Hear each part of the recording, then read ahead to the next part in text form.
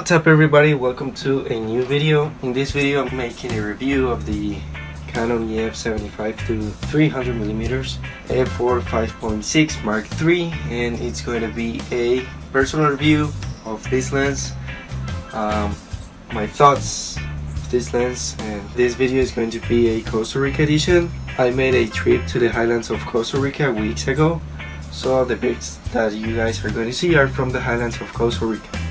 The camera that I used was the Canon 7D, the old trusty Canon 7D.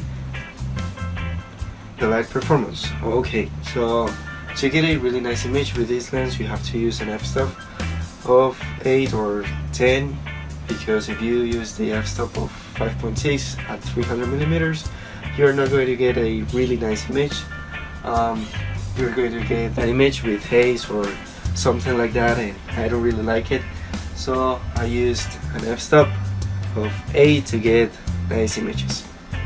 This one is a Talamanca Hummingbird. I used an f-stop of 8 with a shutter speed of 1 400 per second with an ISO of 4000. The light performance if you are in a good light conditions and if the beard has good light conditions you're going to get a really nice image. It's going to be better if you have a good background like this image. I was super close to this hummingbird um, the hummingbirds of Costa Rica in the bird feeders are just crazy. You can get super closer to those birds. And you guys can see that it's a pretty decent image. Uh, you guys might be thinking that this is not a sharp image but remember I'm recording my screen. That's not the the original image. Well the sharpness performance well um, this lens is pretty sharp at f8 or 10 this is the Suricap Cloris Pingus and as you guys can see it's pretty sharp. I used an f-stop 8 with a shutter speed of 100 of a second with an ISO of 1250 I used um, the motor programs to edit this photo. And you guys can see that it's pretty sharp. Maybe it's over sharpened but it's a pretty good image. I, I really like this image. I really like the background and I loved how the bird um, looked at, at the camera.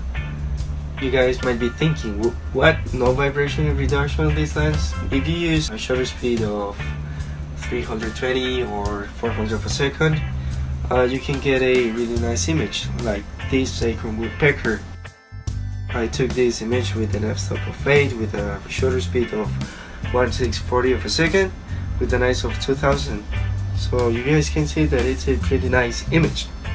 I was not that close to this beard it looks really nice.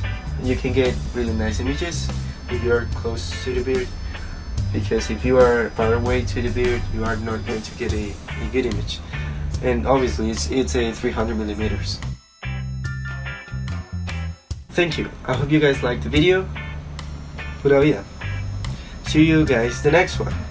Please subscribe give us a thumbs up and see you guys the next one